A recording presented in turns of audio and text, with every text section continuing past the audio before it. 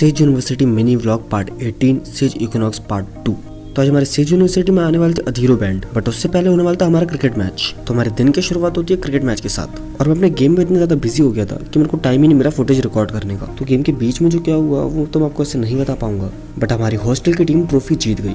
तो पूरा दिन ग्राउंड में बीच जाने के बाद हम लोग शाम में वापस पहुँच गए कॉलेज क्योंकि अब टाइम आ चुका था। डे टू के सबसे मेन फ़ंक्शन अधूरी बैंड के आने का। और जितना एक्साइटेड मैं था, उतना ही एक्साइटेड मेरे कॉलेज के बाकी लोग भी थे, जिसकी वजह से हमें एक लंबी लाइन में खड़ा होना पड़ा।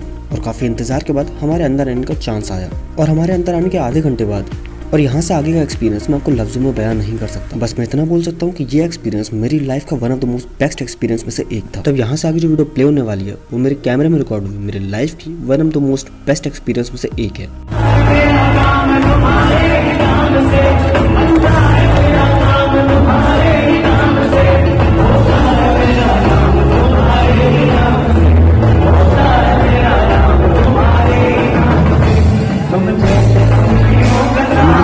कितना एंजॉय किया? वो तो आप लोगों ने वीडियो में देख के अभी तक पता लगा ही लिया होगा। ये तीन घंटे का शो जिसमें बाहर लाइन में खड़े होने से लेकर सीट में बैठ के गाने एंजॉय करने तक मोबाइल की फ्लैशलाइट की मदद से अपना उत्साह दिखाने से लेकर, दोस्तों के साथ ठुमके लगाने तक, ज़बरदस्ती टीचरों से ठुमके लगवाने से लेकर, अंत में भीड़ के बेकाबू हो जाने तक हमने सब एंजॉय किया।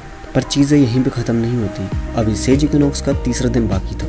अभी डीजे मराया के साथ डीजे नाइट बाकी थी। अभी सेज इक्विनॉक्स का लास्ट डे बाकी था। तो अगर आप लोग भी मेरे साथ आगे का शो देखना चाहते हो और मेरी कॉलेज लाइफ को एंजॉय करना चाहते हो तो प्लीज़ सब्सक्राइब